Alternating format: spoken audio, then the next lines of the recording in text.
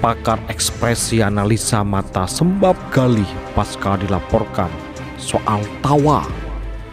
Pablo Benu kamuflase marah. Dilansir tribunnews.bogor.com Pasca pelaporan virus Arafik Galih Ginanjar pun melakukan konferensi pers bersama beberapa pengacaranya. Namun selama wawancara tersebut berlangsung, Galih Ginanjar tak tampak mengeluarkan statement. Dilansir dari tayangan Selebrita Trans 7 edisi Jumat 5 Juli 2019, pakar mikro ekspresi Poppy Amalia pun mengungkap arti dari sikap Galih Ginanjar.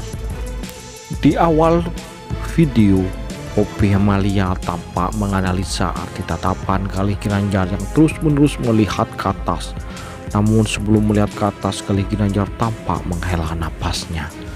Arti dari sikap yang diurai Galih Ginanjar itu menurut Poppy Amalia adalah karena sang artis sedang merasa tertekan.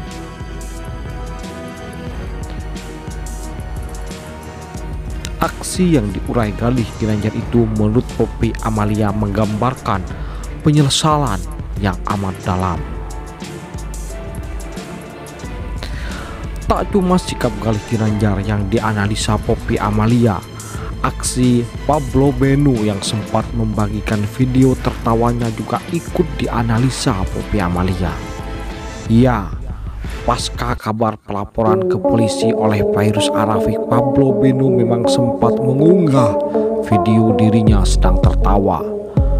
Menurut Poppy Amalia, aksi yang diurai Pablo Benu itu menunjukkan bahwa suami Re Utami merasa lucu atas peristiwa yang sedang dialaminya.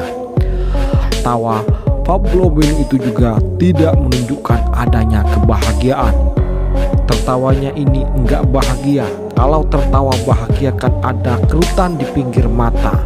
Melihat kondisi ini bukan tertawa karena puas, tapi merasa lucu atas peristiwa tersebut kata Poppy Amalia. Lebih lanjut Poppy Amalia juga menyebut bahwa ada kemarahan yang sedang dirasakan Pablo Benu saat itu.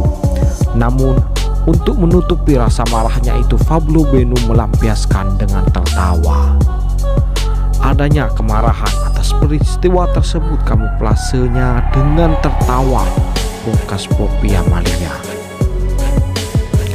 Namun Poppy Amalia melihat adanya ketenangan yang sedang dirasakan Pablo Benu. Poppy Amalia melihat bahwa adanya keyakinan dari Pablo Benu bahwa kasus yang menyeret namanya itu akan bisa selesai dengan baik. Orang dilaporkan biasanya panik karena takut tidak tahu akan solusinya, tapi kalau tertawa artinya dia tahu bisa mengatasinya dengan baik. Imbuh Poppy Amalia.